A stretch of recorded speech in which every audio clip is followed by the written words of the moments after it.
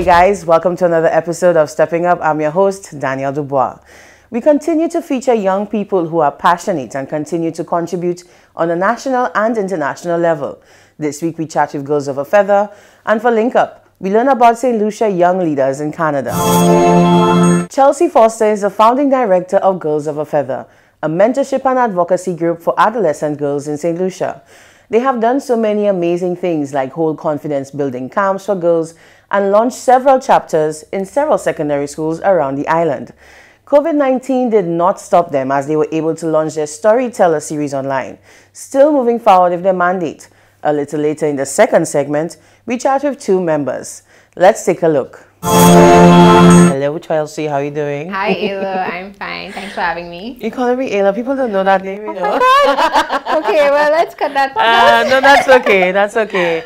Um, so, you know, we're really excited to hear um, the stuff that Girls of a Feather is up to. Um, tell us what it is that, first of all, let's talk about the genesis, for, the genesis of Girls of a Feather. I know that you guys have been, what, five years strong? Congratulations. Non-profit organization. So just let's talk about how your organization started.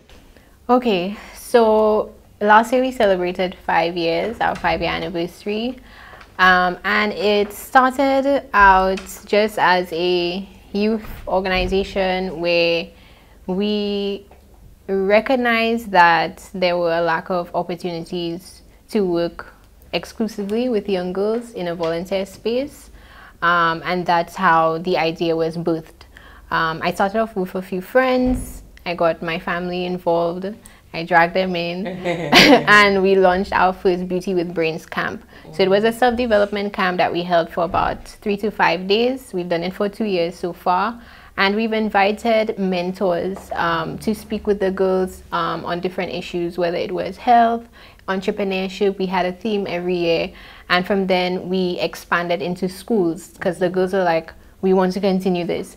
So we mentioned earlier, you know, we had the Girls of a Feather HJC Club. Um, we started off um, at Castries Comprehensive and we took um, a break um, last year. So we can focus on developing an actual curriculum on youth and gender development um, where we can actually train the students who um, get involved with the organization.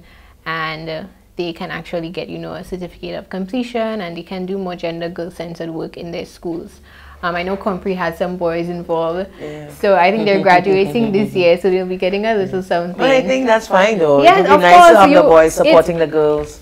It is, and I, I remember I mentioned to someone, you know, maybe we should change the name of the organization. You're like, no, keep it as that, and just yeah. let the boys know, you know, it's open yeah. to getting involved. You shouldn't have to, you know.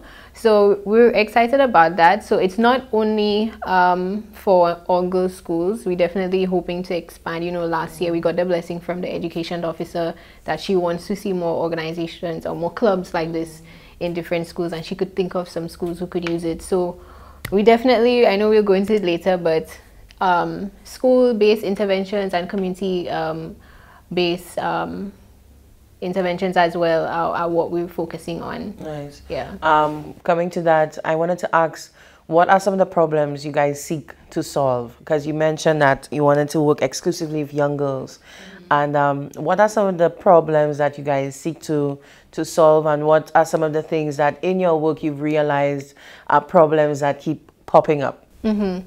Um, I mean, one of the main areas for sure is gender-based violence. That mm whenever we ask the girls in the program what is an issue you want to focus on, it is always that. And you can see statistics and the data shows that there is a prevalence in St. Lucia. You know, within the past five years, the reports have shown there were between 75 to 90 cases reported annually, and that's only reported, yeah. you know, because there are a lot of people who are not comfortable, you know, speaking about these things. So that a lot of issues surrounding sexual health education mm-hmm. um, but I didn't mention it earlier, but the the organization is really a, a, mentorship and advocacy group, and I think what the the gap that we want to fill is the involvement of young girls in leadership and decision making, yeah. where they can do what um, young or older activists are doing and speaking out on issues that they're most passionate about um, that are affecting young girls, socioeconomic issues. Um, so I think bringing older persons into that space where we can groom them and teach them the skills where they can go into their communities and solve their own problems in their communities. So last year we held a, a leadership workshop where we invited um, young girls in the general public to design programs that focus on different things. Yeah. So we had one group who focused on mental health, mm-hmm. another group who wanted to focus on um, developing a database where they can collect issues and cases of sexual harassment in schools, yeah. which is something you know we don't really take seriously. We just kind of brush it off in schools as boys playing, yeah. and you know just normalize these these sorts yeah. of things in public spaces, in bathrooms, how young girls are treated. And I think um, you you form a very important. Um, you you bring so much value in the in the little gaps that we have mm. in our educational system because I know that we're working on um, sex education and letting girls know and, and giving them the information that they need to be empowered to make right decisions. And I think sometimes, most times, our education system, we don't get that, you know. I, I, could, I could remember my first um, encounter with, it was HFLE, and everything was just so basic and so clean. But, you know, what are the little things happening in primary school? Um, and I'm sure girls of a feather can let girls know things like bad touch and good touch and letting girls know that you have the right to, to speak up and speak out at every, you know, so I think girls of a feathers, kudos to you guys and the stuff that you've been doing already. How, um, what have you done to fill some of these gaps already? Um, I mean, for us, for sure, it's awareness raising yeah. because I mean, I don't want to oversell our organization as we provide counseling. Yeah, yes, yes, so yes. I think it's a lot of awareness raising and raising the consciousness of young people, mm. um, creating that space where they even know who they can go to to get those referrals. So you know, our first camp, you and you were part of that. We invited someone with the experience who supports survivors of abuse. So just simple things where people don't know where to go to, which is a huge. You know, a lot of the times you say the the the the the services are there but people yeah. don't but people don't aren't aware of it they don't know who to go to yeah, so if you create that space where you know girls of a feather knows this person they can contact this person directly without us even knowing mm.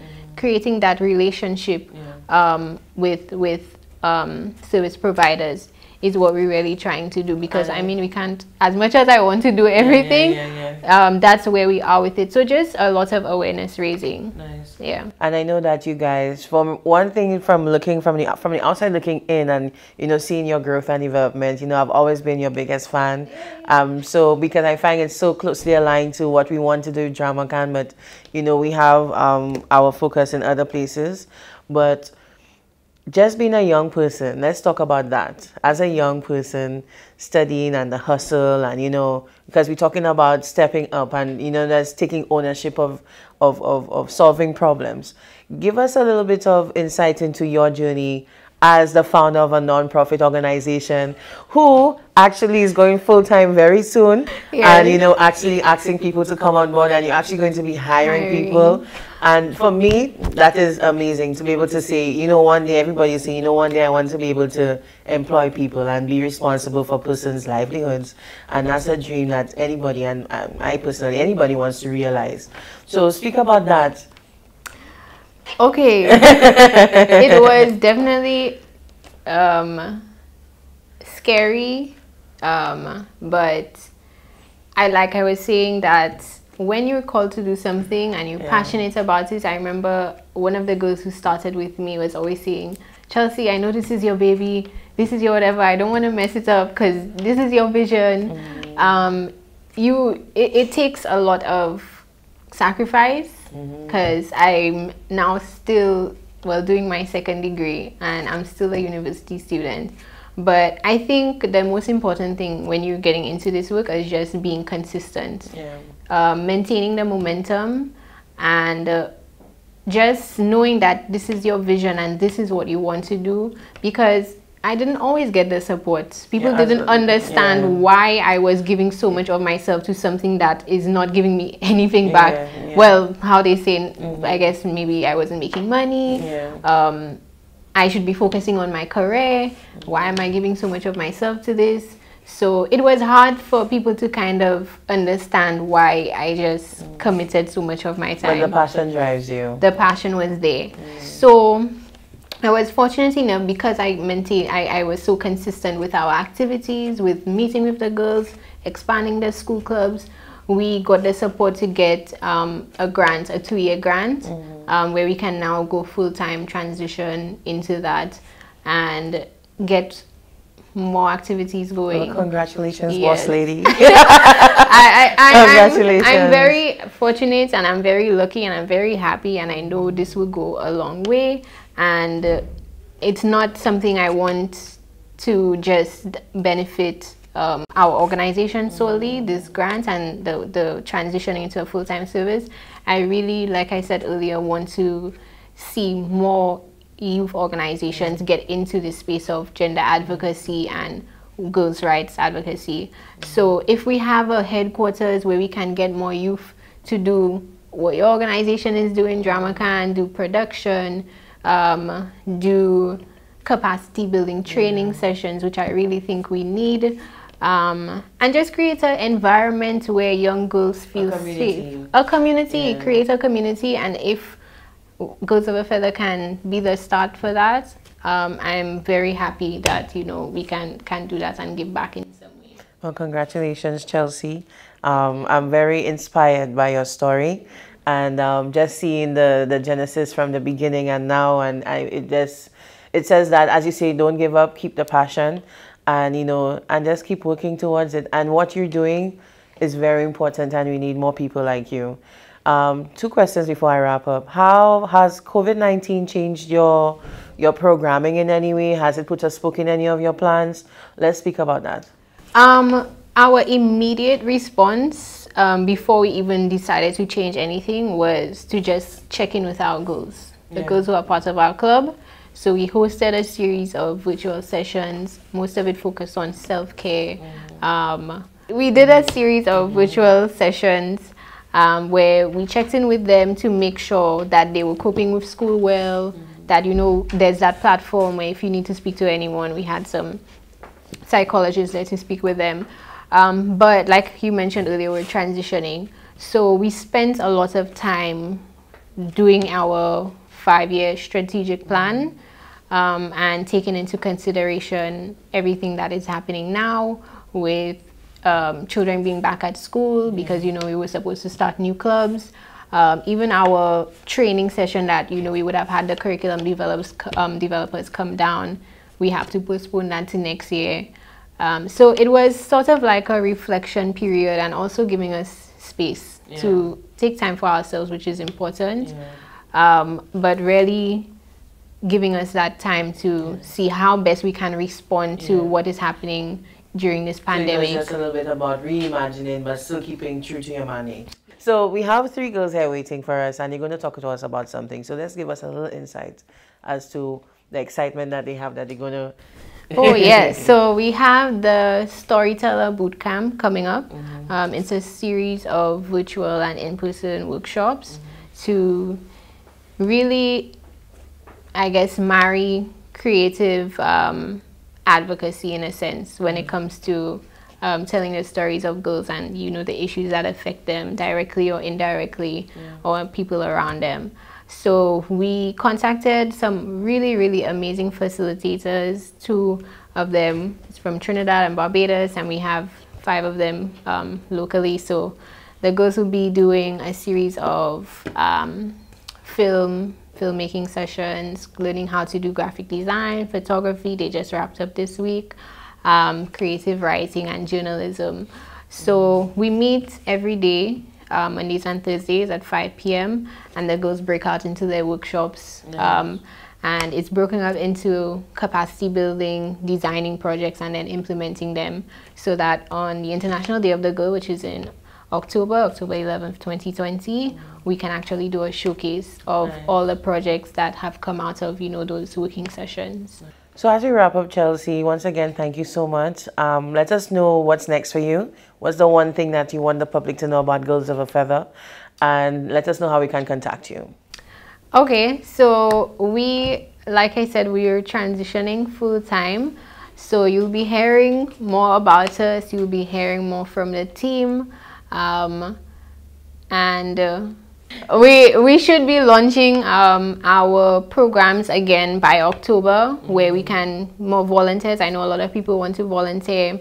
We need mentors, we need volunteers, and of course the girls who want to benefit from our programs. We'll be inviting you all um, in October to apply and get back to, to business.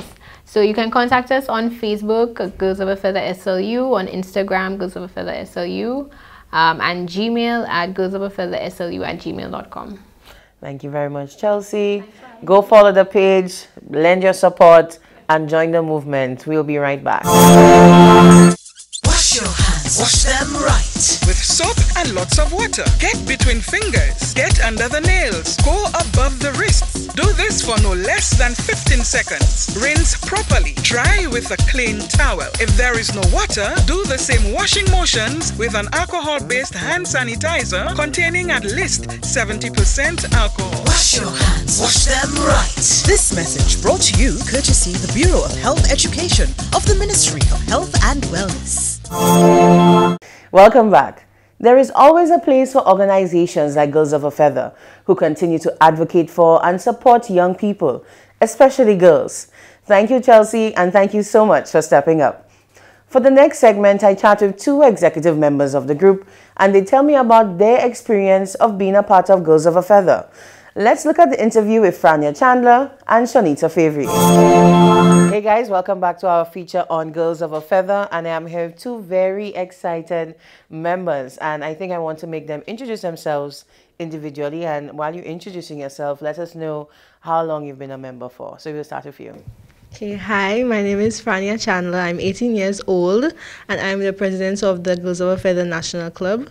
I have been with the club for roughly four years, I would say.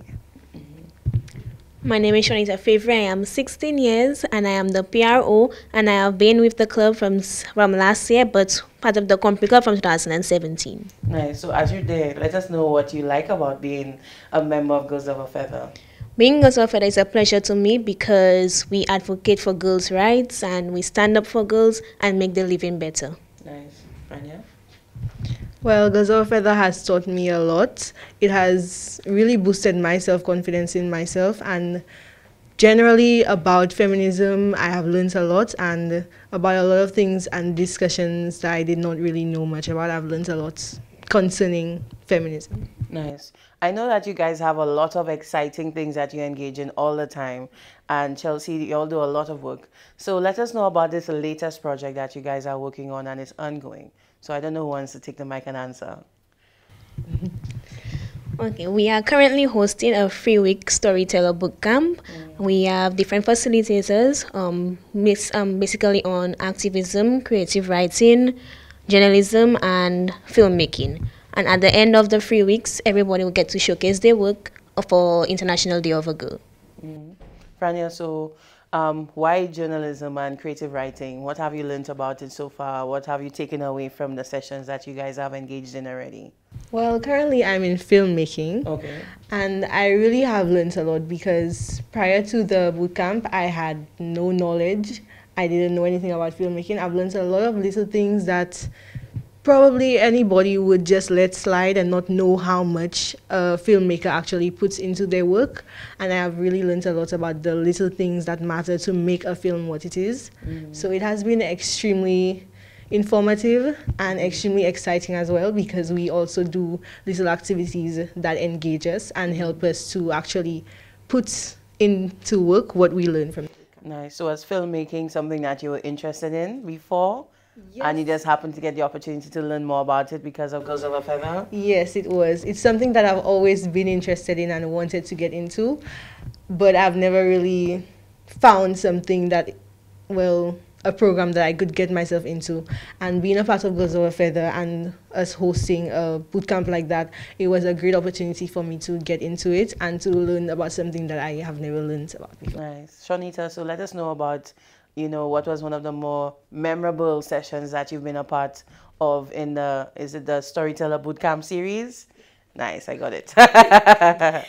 Okay, um, well, the Storyteller Bootcamp is exciting because, you know, I meet new people like all the time. My teacher is amazing. Um, not really, that's not what um, Miss Kami Joseph. Nice. Um, so not really what I chose, but then knowing that I have it now is really good and make me better my speaking skills, being the PRO of Notable Feather, and I can write better. Um, but one of my most exciting experiences with Notable Feather is the workshop, the mentorship program. Um, that was last year. Was very exciting. That's why I met Frania, and I, that's when I joined the national club. Nice. Frania, you mentioned that you're part of, um, you're the president of the national club. Let us know what is it that you do on the national club, and as you're in your team, what have you guys done personally? What are some of the things as president and in your tenure that you say you could, you're proud of doing? Well, I've been part of the national club for a little over two and a half years. I originally got introduced to Girls of a Feather through Conda Convent branch. So before my work was mainly based on what we were doing at school. When I started to get involved in the national club, I realized that there was a lot to learn and a lot that we were not doing that will really open my mind to a lot of topics. One of the things that I'm really proud of that we did as a club would probably be last year, like she mentioned, the leadership workshop. It's something that, well, I was on the executive last year as well, and it's something that we got to be a part of in the planning and the making. And it was very it was a very interesting experience. Mm. It was also we were also part of the workshop as well. So while we were working behind the scenes we were also part of it and learning from the different facilitators that the workshop had speaking to us. So i think that would have that i probably would have been the most proud of especially with the workshop the different groups they had projects that they put out. Mm. And it was very it was it was really nice to see everybody come up with different topics and to come up with solutions on daily problems that females face. The group that won theirs, they ended up making a online forum and for people to speak about well I think it was Different issues and yeah, it was sexual harassment. Oh, sexual So- harassment. Yeah, for teenagers, Okay. and that's something that I find is that you don't get every day. It's it was very interesting to see young people come up and take that initiative on their own and to come up with an actual plan and to actually implement it at the end of the workshop. Nice. So yeah, that was that's something I'm very proud of. Shonita, you mentioned that you're the PRO of the Castries Comprehensive Chapter. What's that? Oh, it's on the national club. Okay, so is it that you'll have a national club and then you have the school chapters? Yes, we have the national club and the different branches at secondary schools. Okay, so let me know what about you in terms of all the things that you've been exposed to. What are you most proud of? Okay, well, I'm most proud of, first, well, the leadership workshop and also our some different virtual programs during the quarantine. We had the self care, we had the mental health, we had um we did have a next skincare, skincare and health, and um the childhood trauma. This was very successful virtual sessions, and our club came. So some was for club members only, and then for the last one for the mental health, we opened it up to the public. So everybody could have come. Everybody asked questions, very informative. Everybody was participating, and we got good remarks at the end. So that was very proud. Nice. I was So, very proud of. As we wrap up, two questions. How does it feel being in a leadership position with Girls of a Feather? And what will you tell your peer, your peers, your friends? Why? What is it that you'll tell them to come on board and to join the movement? We'll start with you, Frania. So as a leader, and I know Frania as a leader, so I don't know why she's like, I don't know what's that. So, so continue. So let's answer the question. So how does it feel to be in a leadership position? In such a, in my opinion, I find Girls of a Feather is extremely trendy. It's with the movement and with the times, and it's amazing how much support that they've been able to galvanize. So let me know how you feel about being a part of the leadership, and what is it that you're going to tell your friends to do to join, and why they should join.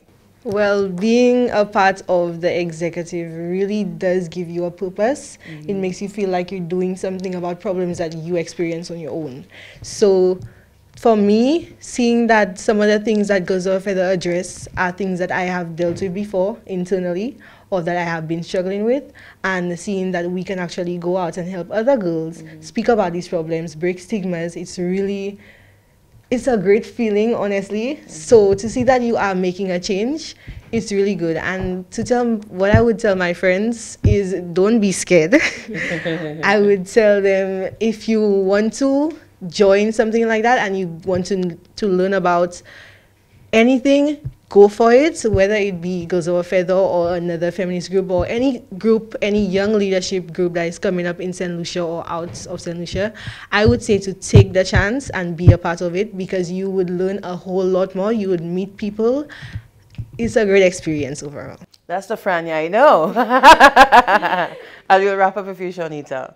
It has been very eye opening for me seeing the struggles girls face on a day to day basis, and it's my pleasure to help fix them, to make them feel better, have like being the person they can talk to about it.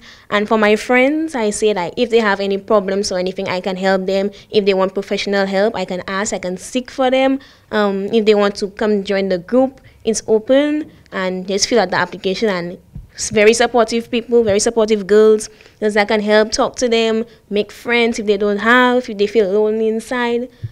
We have people to talk to, so Thank you so much, guys. You guys, I think Chelsea chose the right ambassadors to come and talk about Girls of a Feathers. So, again, I want to say thank you. Congratulations on all the work that you guys have been doing. Fortune and favors in all the work. Congratulations. Continue stepping up.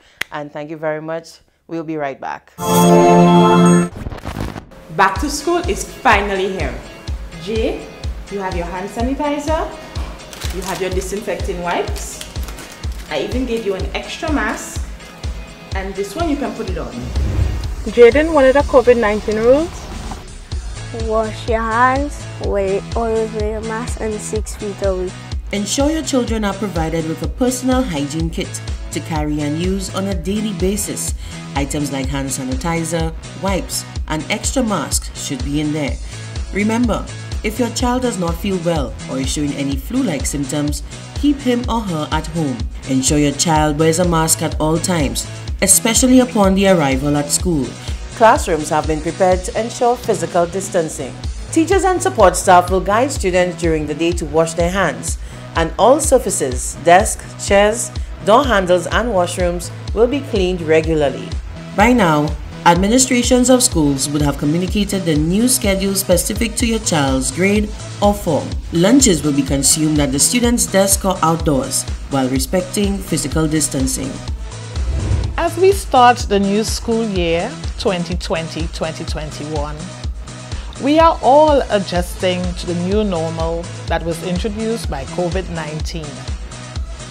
I beg of all of you, let us observe the guidelines as prescribed by the Ministry of Health. Our children, teachers, educators, stakeholders, we all depend on one another to do the right thing for the sake of our children and the sake of our nation. Let us all be vigilant and observe the protocols as defined by the Ministry of Health.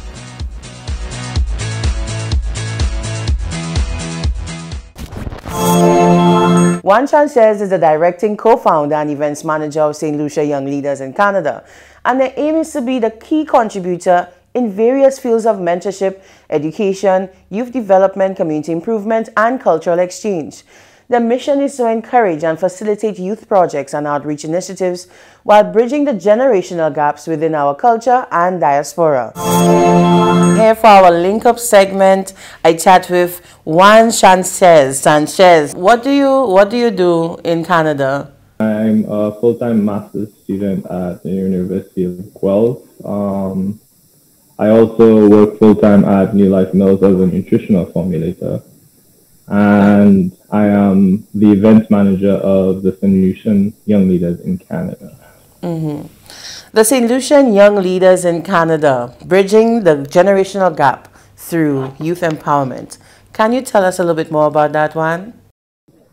Um, if uh, St. Lucian Young Leaders in Canada, also known as SILK, um, our main aim is to be a key contributor in various fields um, in terms of mentorship, education, youth development, and com- community improvement, cultural um, exchange, and pretty much just bridging that generational gap between the youth and um, I guess the older generation, um, and creating a youth-led um, organization or youth-led initiative in the diaspora, um, especially in Canada.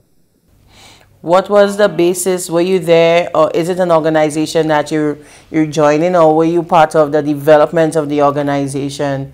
You told me about two or three years ago. Yeah, I was one of the founders. Um, um, we're pretty still pretty young. We're only a little less than two years old, so pretty much everybody on our executive board are founders, um, and we all have our different reasons for joining or for yeah. creating this organization. Um, one of the main reasons why all of us joined this organization is just there was a lack of youth representation in the diaspora. Um, so we all came together and um, we had a meeting of the minds and we all um, brainstormed what we wanted and so it's a grouping for young professionals, young St. Lucians who are in Canada pursuing, I guess, their careers or studies. Um, let us know how can people join or access some of the things that you guys um, provide in terms of services or support. Um, so right now you can follow us on Instagram, Twitter um, at SilkTO. Um, you can also email us at info at silk.ca. Um, we're still in the early stages of our um, of like we're still working on our website. We're still working on um, do, like donations and all that. But um, from if, if anybody wants to join the organization, just send us a, a, DM on Twitter or Instagram or even email us. Um, and then we'll add, add, you to the member list for now. And then as we grow, um, you, once our website is launched, um, that'll be easier way for people to join. So my last question for you, um, Silk as a non-profit organization, being overseas, um, COVID-19, have you guys assisted anyone in because of the pandemic or has the pandemic changed your programming in any way? I'd say it has tremendously where um, we all had big plans for this summer, um, all the different initiatives and that has put a lot of us on pause. I'll, pretty much a lot of us are stuck in St. Lucia right now. Um, well, they are. And that has created almost a standstill, but not. Um, it hasn't pushed us away from planning. And your mandate. Yeah, um, but we have reached out to different organizations um, to help within COVID. Um, we have been spreading awareness with um, from the government of St. Lucia and Canada. Um, we did um, plan to help send some barrels to the different homes in St. Lucia as well. Okay, nice. Um, and that's pretty much it for now. But right. there, as time passes, there is more things to come up, and yeah. Nice. Thank you very much. So, Juan, thank you so much for saying yes and agreeing to have this interview with us um, via Zoom. Um, tell all your executive members um, hello, and I hope everyone is doing well. And I just wish you guys all the best. And you know, let's keep let's keep in touch and let's um, pay attention to what's going on and how we can continue to assist each other. So, thank you very much. Oh, no problem. Thank you for having me. That's it for this week's installment of Stepping Up. Don't forget, we are open and ready to learn and feature anyone doing anything positive and impactful in the community. Just send me an email at steppingup758 at gmail.com. Thank you for joining me. I'm your host, Danielle Dubois. See you next time. And until then, don't forget to keep stepping up.